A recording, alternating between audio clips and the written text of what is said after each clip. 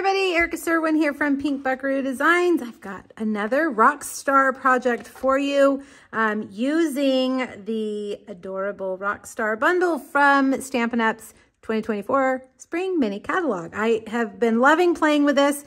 Um, I've got five projects total, so if you're looking for more ideas, make sure you go back, visit my blog. The link is down in the description. Okay, so my daughter is a musician, my youngest. She plays lots of instruments, one being an electric guitar, and one of the things she wanted for Christmas was an amp to plug her guitar into. So I thought, you know what? Let's make an amp box to go with our guitar. Um, inside is one of Bath & Body Works masculine hand sanitizers. They have a lot of masculine scent, so I thought, you know, one that was kind of silver, platinum colored would be really cool with this box. So that's what I designed the box for, but it would hold Hershey Kisses or nuggets or whatever else you wanted to put in it. Okay, let's start by making our box. I'm gonna bring over my cut and emboss machine. You're gonna need a piece of basic black that measures five and a half by six and a half. On the long, on the long side, you're going to score it at two, three, five, and six. Turn it to the short side and score it at half an inch, one and a half, and four and a half. All right. Now grab a bone folder and burnish those lines, okay? Burnishing your lines with your bone folder just gives you a really crisp um, fold and it's gonna make your box square and hold together pretty well. All right, so you'll see you've got this half inch tab over here on the right side. The first thing that we're gonna do is cut off this rectangle and these two right here as well. Okay, this is gonna be the, the little um, tab that we glue to the other side. Now notice I'm cutting in at an angle. You're gonna want to cut in at an angle there. All right, now down here at the bottom, we're just gonna cut these apart like this. And on these square tabs, just cut the corners. Okay, that's gonna help in case you cut which I normally do, too far out of your score line, that will help. Okay, so now on this end, we're gonna cut these two off right here. Okay, so carefully go across and then cut. All right, now we these two flaps, this square and this square, are gonna be the two flaps that fold in on the, at the top of your box. So we're gonna leave those, but we wanna cut this rectangle off. So we're gonna kind of do two things at once. Cut all the way in and then cut off that little rectangle right there, okay? Repeat over here. And cut off. All right, the last thing I want you to do is cut the corners right here. All right, now this is what your piece looks like if you want to. I guess maybe I should turn it this way because the half inch tab was over here where we started. If you need to pause the video to take a look while you're cutting yours. All right, there's one other thing we're gonna do, and we're gonna create a little finger notch right here. Grab one of your small circle punches and just punch a, a little notch there. I just use my half inch circle, but any size really will work. All right, we're going to use, let's see, what do I have over here? The tear and tape is missing. So let's just use our stamp and seal.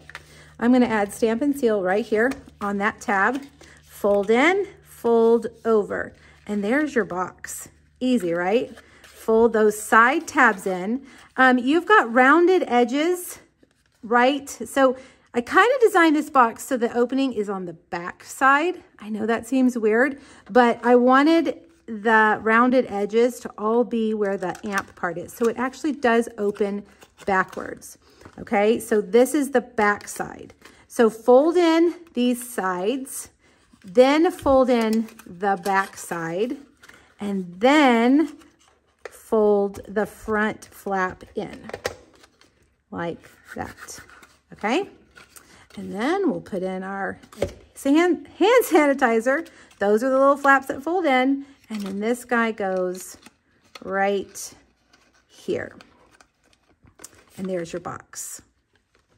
All right, let's talk about how I created this. We're gonna stamp our guitar. To create these little dots here, we're actually gonna use the pegboard die from the Trusty Tools set. All right, so I'm gonna get that. But uh, let's go ahead and get our um, guitar ready. So we only have to bring over our cut and emboss machine one time. Okay, let's stamp the guitar in Memento Black. We're stamping it in Memento because we are coloring it with alcohol markers. So we want it, the inks not to smear or run together. You want to use a water-based ink and then with your alcohol markers. All right, color in your guitar. Um, I'm using Real Red. My daughter's amp is red and gray, so I just kind of went with that. I'm using the brush tip end of my marker, which I don't usually use, but I have a new set of real red markers. And when they're new, I feel like the, the tip works. You know, you haven't worn it down yet and it's pretty good. Otherwise, I get out of the lines with that brush end. Okay, now go back with your dark and I'm just gonna put a shadow line around that white part. I definitely don't know the parts of a guitar, so if that has a name, I don't know it. All right, then I'm just gonna kind of take my, my light, my brush end, and just kind of blend these colors down like this. All right. Okay, now another thing to make your guitar really cool Take your wink of Stella and brush. All right, now we're ready to cut it out. Let's bring over the Boss machine and I am going to use some post-it tape to hold my guitar die in place so that it doesn't slip around. Get it framed perfectly. You need to look at the top and the bottom. Make sure you've got it framed perfectly. And then we're gonna take this piece right here and I'm gonna set it down right at the edge so that those circles are gonna be on there perfectly, okay? And let's see, I think I'm gonna leave it up like that so I can make sure that it doesn't slip. All right.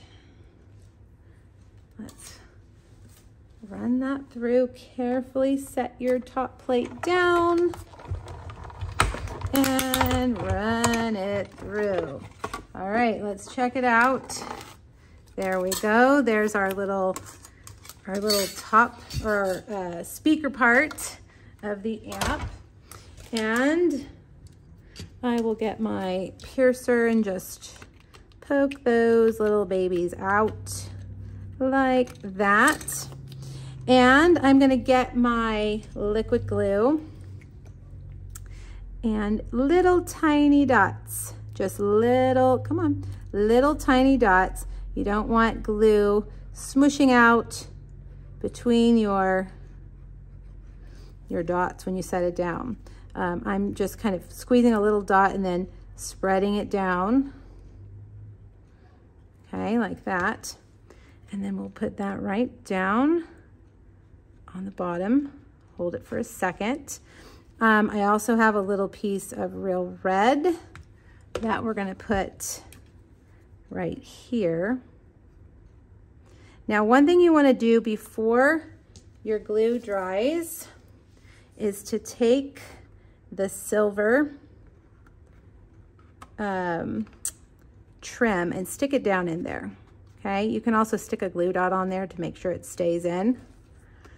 Okay, now we're gonna get our guitar and we're gonna tape, well, I don't have any tape. We'll use a dimensional. We're gonna tape that little plug, that little wire to the back.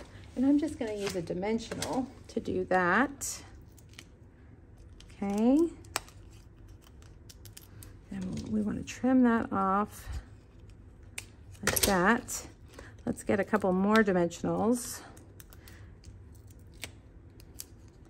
Like that. Okay, and we'll set that down there on the side. All right, now if your little wire doesn't want to stay in place, what I do is I get a glue dot and I'm gonna roll it so it's real skinny.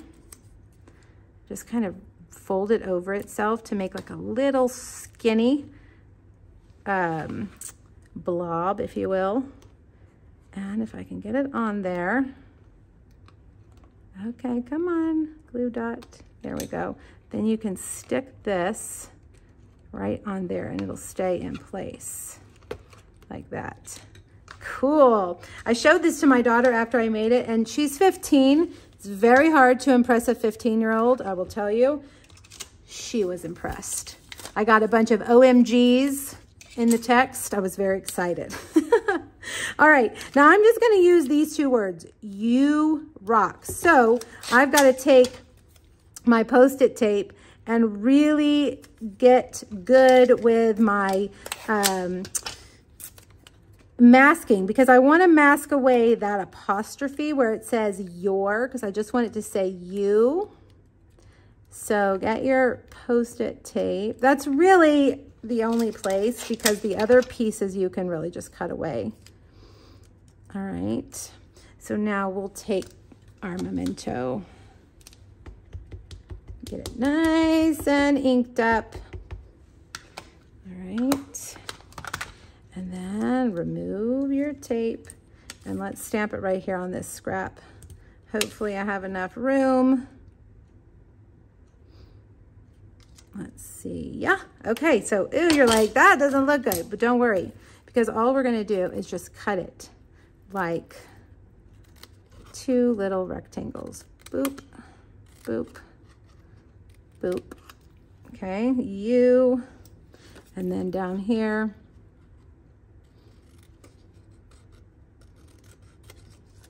You rock and cut off all that extra like that. See, now all you see is you and a rock. And we'll get our mini dimensionals for these guys. And we've got one, two, three. Peel off that backing. You can also put that kind of over that too to hold it in place.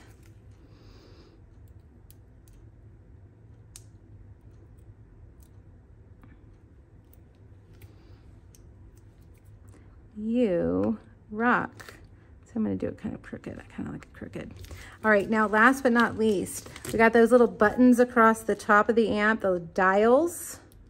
These are our festive pearls. I'm just to use these tiny little um, silver pearls.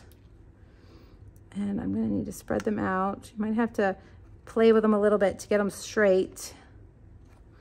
Oh, that one's a little down low and one more. And there you have a pretty cool treat box. It has a little hand sanitizer if you've got some cool teenagers in your life or tweens or maybe some dudes who aren't ever impressed. This box will impress them, I promise. Okay, you guys, make sure you click the link here on YouTube. Go back to my blog. Check out the free PDF I have with measurement supplies and two other uh, rock and roll projects. All right, you guys, have fun stamping. Bye-bye.